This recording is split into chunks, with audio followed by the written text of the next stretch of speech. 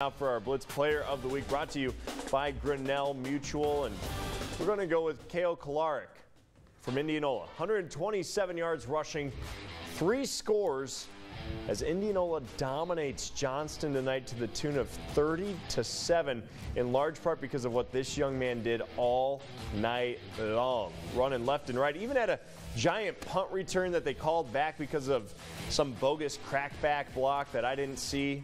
Just because I didn't see it means it didn't happen right? Can we appreciate that this is like LSU versus LSU alternates? Yeah, I, I was waiting for you to notice that. I mean, this is like SEC, like this, This is is the spring game. That's this what is this yeah, is. purple versus white game game. down there at LSU. Gotta love it. All righty, Indianola with the big win. They advance to the round of 16 next week.